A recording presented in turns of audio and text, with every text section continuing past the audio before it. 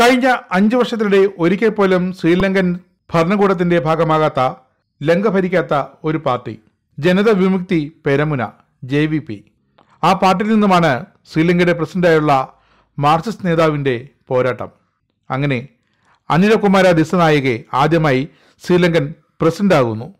ഇടതു കോട്ടകളുടെ ശക്തമായ പിന്തുണയോടെയാണ് അനിലകുമാര ദിസനായകെ ഇതാ ശ്രീലങ്കൻ പ്രസിഡന്റ് പദവിയിലേക്ക് തിരഞ്ഞെടുക്കപ്പെട്ടിരിക്കുന്നത്.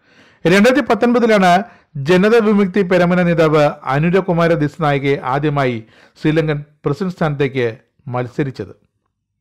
അന്ന് കിട്ടിയത് വെറും മൂന്ന് ശതമാനം വോട്ട്. ഇപ്പോഴിതാ ദ്വീപിന്റെ പ്രസിഡന്റായുള്ള ഈ മാർക്സിസ്റ്റ് നേതാവിന്റെ പോരാട്ടം ചരിത്രത്തിന്റെ ഭാഗമാകുകയാണ്. ആയിരത്തി തൊള്ളായിരത്തി അറുപത്തിയെട്ടിൽ കൂലിത്തൊഴിലാളികളായ മാതാപിതാക്കളുടെ മകനായി തമ്പുട്ടേഗമയിലാണ് ദിസനായികയുടെ ജനനം. സ്കൂൾ കാലം മുതൽ ജെ വി പിയുമായാണ് ചേർന്ന് പ്രവർത്തിച്ചത്. ജനവിമുക്തി പെരമുനയുടെ വിദ്യാർത്ഥി നേതാവായി വളർന്ന ദിസനായികെ എൺപത്തിയേഴിൽ പാർട്ടിയിൽ അംഗമായി തൊണ്ണൂറ്റിയെട്ടിൽ ജെ വി പി പൊളിറ്റ് ബ്യൂറോയിലുമെത്തി രണ്ടായിരത്തിൽ ആദ്യമായി ശ്രീലങ്കൻ പാർലമെന്റിലേക്ക് അവസരം ലഭിച്ചു. രണ്ടായിരത്തി നാലിൽ പ്രസിഡന്റ് ചന്ദ്രിക കുമാരതുംഗയുടെ സർക്കാരിൽ കൃഷിമന്ത്രിയായി. രണ്ടായിരത്തി അഞ്ചിൽ ചന്ദ്രികയുമായുള്ള അഭിപ്രായ വ്യത്യസ്തത്തെ തുടർന്ന് മന്ത്രിസ്ഥാനം രാജിവെച്ച് പുറത്തിറങ്ങി. രണ്ടായിരത്തി പത്തൊൻപതിലേറ്റ തെരഞ്ഞെടുപ്പ് പരാജയത്തിൽ നിന്നുമാണ് ജെ വി പി പാർട്ടിയും മുന്നണിയും ജനങ്ങളുടെ കൂടുതൽ ആഴത്തിൽ പ്രവർത്തിച്ചു തുടങ്ങിയതും ജനം കൂടുതലായി അവരുടെ പ്രവർത്തനം ശ്രദ്ധിച്ചു തുടങ്ങിയതും. അഴിമതി തുടച്ചു നീക്കി പഴയ രാഷ്ട്രീയ സംസ്കാരങ്ങളെ ഇല്ലാതാക്കുമെന്ന പ്രഖ്യാപനമാണ് ദിസനായകെ ഈ തിരഞ്ഞെടുപ്പ് ഗോതയിൽ മുന്നോട്ട് വച്ചത്.